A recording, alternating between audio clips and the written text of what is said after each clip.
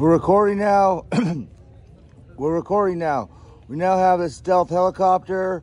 Has 3D pyramids all over it to to to to, to, split and scatter radar and, and deflect radar against itself, canceling itself out, and causing diffusion pattern where the scatters the radar not to return to the source of the radar. Also, the the the, the, the helicopter rotor blades are. Um, are serrated. The jagged edges on all, all of there's no flat surfaces. So jagged edges of helicopter rotors to make it silent, very quiet.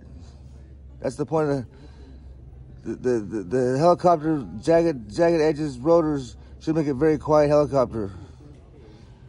And um, the 3D pyramids all over it scatter the the the the, the, the, the radar. 3D pyramids over about like a foot, a foot wide. They could be like six inches. They could be like whatever, but they're like bent at 120 degree angles. So we have a stealth helicopter.